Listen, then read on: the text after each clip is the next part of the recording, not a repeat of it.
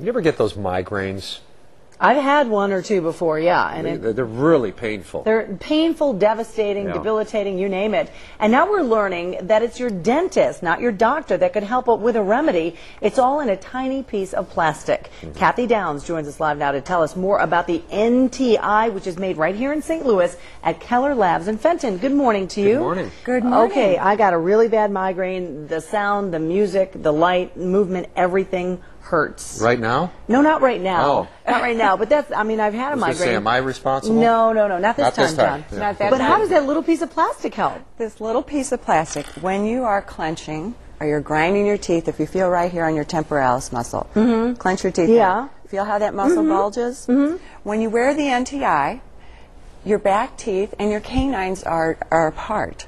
So when you have contact only in the front teeth, it reduces the intensity of that muscle activity by about 70%. And does that pressure in those muscles right there contribute to the migraine That's what can trigger, trigger your migraine. As you're clenched down and those muscles keep contracting. So if you can reduce the intensity of that contraction, you will do, reduce the migraine events that you have. I can speak for it. I've got one. You've got one of those I've things? actually got one. Really? Yeah. And how does it work? Is it okay for you? Well, you? you put it in. Um, the- the only issue I had was sometimes, you know, I, my mouth had a tendency to, to stay open, and I'd get a dry mouth. Mm-hmm. And but that's an adjustment that they can make. Well, it is an adjustment, and now we're doing a lot more lower NTIs, Mm-hmm. so you can get your lips closed.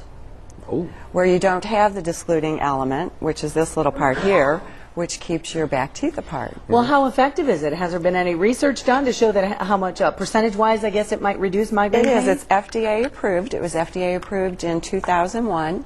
82% of the migraine headache sufferers had a 77% reduction in their migraine headache events. Wow. there you go. That's the- pretty significant. The reason I actually got one was because I was grinding my teeth.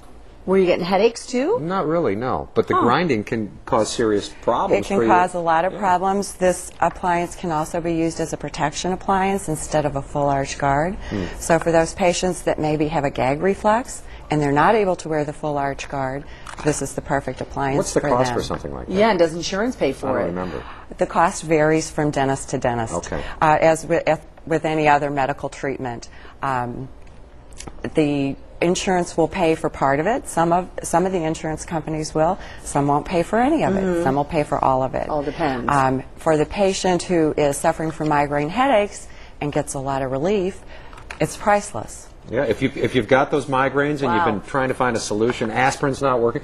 This might be the case right here. Right. The one thing I would encourage you to do is to talk to your dentist Absolutely. and see if this appliance can be helpful for you. Great information. Thanks so much. We're going to have more of that information on our website at myfoxstl.com. All you have to do is click on the Seen on TV link, and you'll find it right there. Thanks for coming in. Thank you so We much for appreciate it. having me.